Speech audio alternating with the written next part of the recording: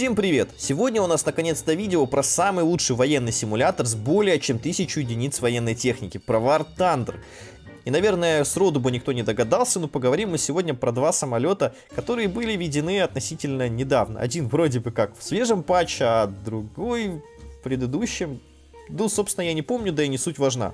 Все рассуждения давайте оставим на потом. А пока, кто такие эти ваши вигины, сколько их в игре и вообще, что они из себя представляют, чем отличаются, вот сейчас об этом сперва поговорим. На данный момент в игре представлено две модификации, да и в принципе в будущем, скорее всего, их две и останется, потому что остальные они здесь будут бесполезны, а вводить более современные модификации начала 90-х уже двух имеющихся самолетов, я считаю, вряд ли разработчики будут. Только если не захотят забайтить всех на очередной донат и гринд. Хотя о чем это я, скорее всего, да, появится еще два самолета в будущем, но не суть важна. Чем же отличаются два имеющихся? Отличаются они на самом деле, если брать реальную жизнь, много чем, но в War Thunder заметно всего несколько изменений. Если быть более точным, у нас представлен AG-37 Вигин, это старший брат, и его младший брат GA-37, так называемый Ягд Вигин.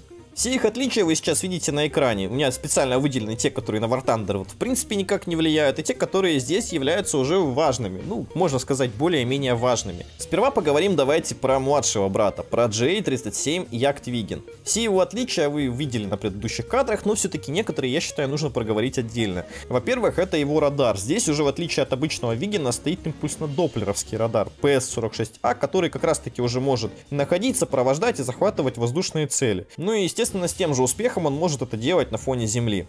Что касается нашего двигателя, здесь вот давайте остановимся поподробнее, потому что лично для меня тема очень забавная, так как двигатель у Вигина и Ягд Вигина это по факту сильно усовершенствованный и доработанный двигатель с гражданской авиации, который стоял на Боинге 727. Название видите на экране. Я не знаю, мне это показалось очень забавным. Я вот решил вам это рассказать. Из извините. В общем, что касается Ягд Вигина, тут двигатель еще более усовершенствованный относительно обычного Вигина. Как минимум, если верить интернетам, у него возросла мощность где-то на 10%, и пропал такой эффект, который считается называть зашкваром, поэтому я скажу по-модному, у него пропал компрессор стол. Но для War Thunder это не актуально, поэтому двигаемся дальше. Двигатель и правда здесь работает чуть лучше, топит самолет сильнее, набирает высоту чуть быстрее, а остальное в принципе-то и не важно. Из вооружения здесь неплохой джентльменский набор истребителя-перехватчика, то есть несколько модификаций АМ-9 и АМ-7. Вот посмотрев YouTube честно говоря, сложилось впечатление, что они очень неоднозначны, по мнению многих представителей нашего комьюнити. Ну, не многих, но как минимум, да, есть те, кто считает это неэффективным вооружением, багованным, сложным, вообще э, летайте с АИМ-9 и херачьте с пушки. В принципе, да, правильно, зачем заморачиваться. Но э, вот лично по моему мнению, наверное, это самая главная фишка и самое мощное оружие у этого самолета. Как они работают, я думаю, многие знают, объяснять смысла никакого нет. Ну, на всякий случай, берете цель захват ваш РЛС, э, включаете ГСН ракеты и производите пуск с допустимой дистанцией. То есть с 15 километров пытаться запускать их нет никакого смысла.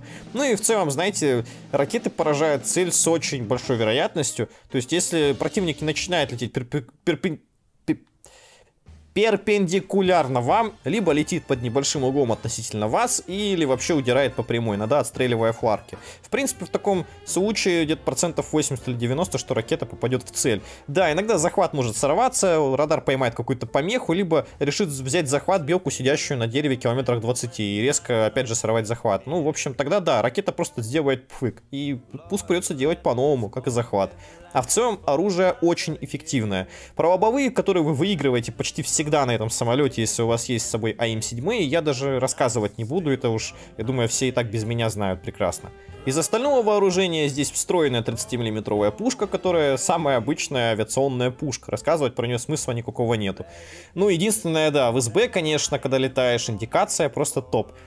То есть э, даже когда вы захват берете цель, у вас не появляется никакого правильного маркера. Точнее, он появляется только по праздникам. Либо я что-то не понял, либо оно так вот реально работает. Ну, в общем, очень странно. Так что, если летаете в СБ, будете иногда испытывать дискомфорт с этим самолетом. Но из подвесного здесь можно подвешать разве что Нурсы. Ну, я опять же не знаю, кто вообще его будет пытаться использовать как штурмовик, потому что это какая-то шиза, честно говоря. Играется на самолете достаточно просто. Вам нужно лишь запомнить то, что он хорошо набирает энергию, хорошо набирает высоту, высоту, и хоть и является более-менее маневренным и хорошо управляемым, но есть какие-то плотные дукфайты, где игроки представляются пилотами спидфайров из РО и тянут рус до жопы, я бы вам не советовал, потому что как минимум у вас там будет не очень выигрышное положение. Самолет хорошо может довернуть во время одного или двух вот как раз таки маневров, выйти на хорошие углы, особенно на ручном управлении, но потом энергию теряет настолько, что у большей части противников будет преимущество. Я не исключаю, что мне руки из жопы, это факт, и я не смог просто маневренный бой на нем,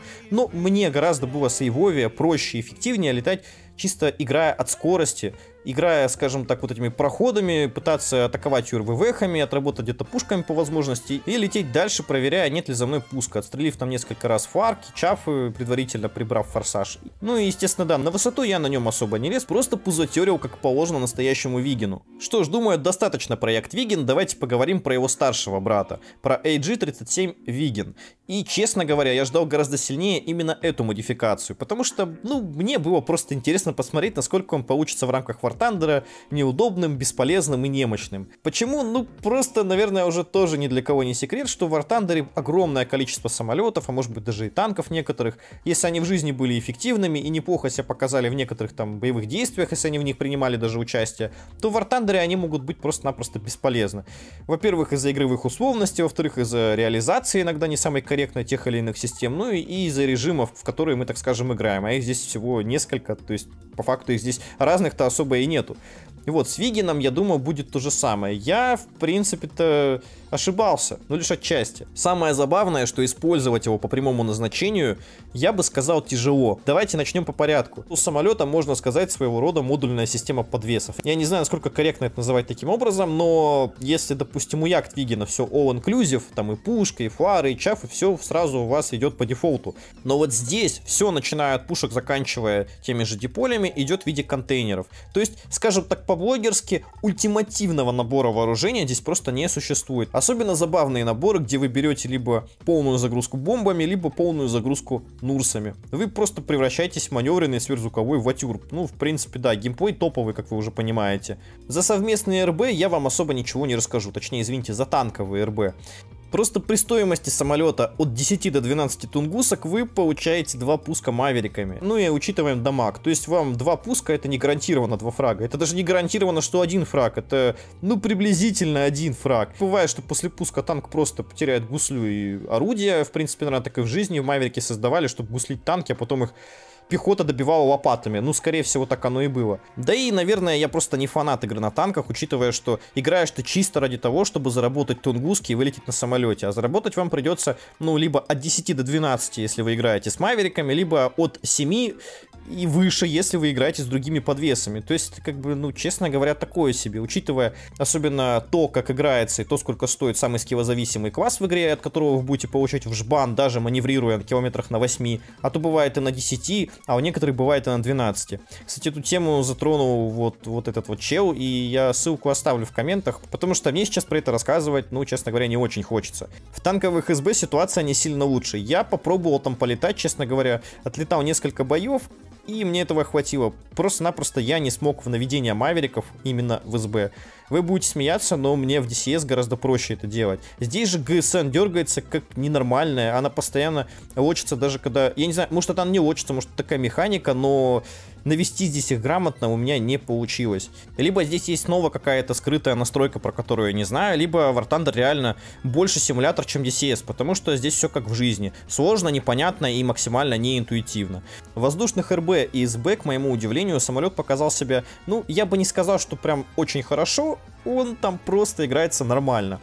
Отчасти потому, что улитки решили сделать его радар PS-37 точно таким же по принципу действия, как и PS-46 на Яктвигене, что, ну, я бы не сказал, что очень правильно, если смотреть, то есть со стороны историчности, реалистичности, но когда последний раз War Thunder был реалистичным и историчным? Давайте вот попытаемся вспомнить, да?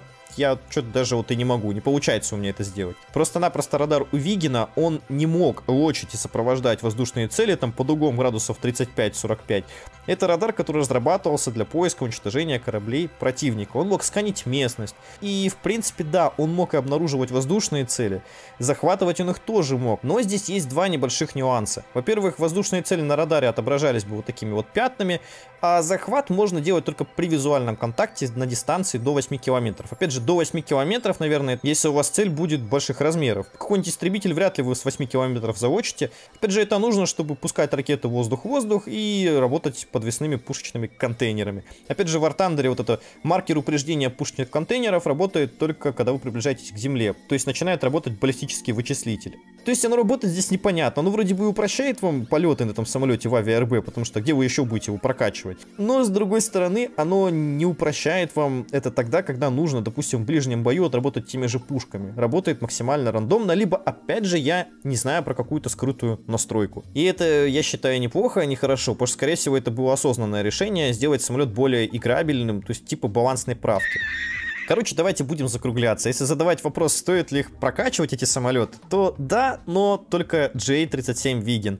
И G-37 я не считаю, что вообще в принципе стоит прокачивать в War Thunder, даже если за ним будет его более современная модификация. Прокачивать самолет ради того, чтобы получить два пуска Мавериков, либо два пуска РБ-5, это что-то, честно говоря, такое себе удовольствие. Где вы будете еще на нем играть? В авиа-РБ? Ну, зачем, если есть, опять же, тот же самый Ягд Виген? Поэтому решайте сами. А на этом у меня все. Спасибо за просмотр просмотр и удачных вам боев. Подписывайся на Гаджента.